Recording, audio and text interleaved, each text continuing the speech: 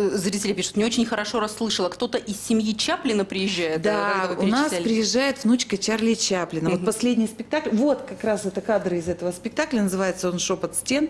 Это а, спектакль компания «Маленькие часы», французский, а концепцию и постановку это Виктория Тиери Чаплин, а исполнителями является Аурелия Ти- Тиери, которая как раз внучка Чарли Чаплина. Здесь все будет понятно, очень музыкально, очень красиво и очень трогательно. А, Я надеюсь, что зрителям очень понравится.